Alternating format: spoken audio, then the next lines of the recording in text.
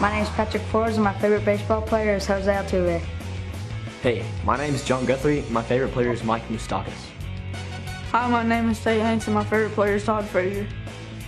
Hi, my name is Isaiah Head, and my favorite baseball player is Matt Carpenter.